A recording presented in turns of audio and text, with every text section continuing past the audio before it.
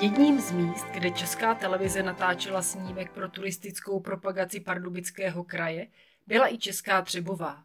Martin Netolický pozval na návštěvu úspěšné olympijské reprezentanty Evu Samkovou a Tomáše Krauze. Natáčení v Jevorce se zúčastnil i Českotřebovský deník. Tak jsem rád, že jste navštívili Pardubický kraj, vybrali jste si zajímavá místa, Uhersko, Dolní Moravu, Králíky a dneska Českou Třebovu. Tak doufám, že jste spokojeni. No, nám se to líbilo, my jsme si to užili, samozřejmě Dolní Morava, to byl velký adrenalin, takže moc děkujeme za pozvání. To je pravda, že právě v té oblasti se ten cestovní ruch a sport hodně rozvíjí. Tady jsme v České Třebové, ta není tak turisticky známá, ale myslím, že má taky co nabídnout a předpokládám, že až se projdeme, tak eh, můžu vás pozvat na malé překvapení.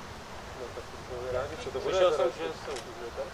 No, tak, eh, my si studenou vodu nenecháme ujít nikdy. Studená pramenitá voda, pitná v podstatě. Ty to zní úplně jo? Super, tak jo, tak to bude až na závěr, jo? Tak Dobře, tak jdeme. A tadyhle kousek je Vrbovka, ten ještě silnější. Jo? Takže tady jako vody. Vrbovka tam půjde vrbič. Vrbiči, máš tady svůj pramen Vrbovku. Je. Nejobdivovanější byl bosenský pavilon a pramen Javorka. Překvapila informace o jeho vydatnosti a kvalitě vody. Zvláště letos je v dobré formě. Televizní štáb také věnoval zaslouženou pozornost areálu rotundy svaté Kateřiny, další zvláštnosti našeho města.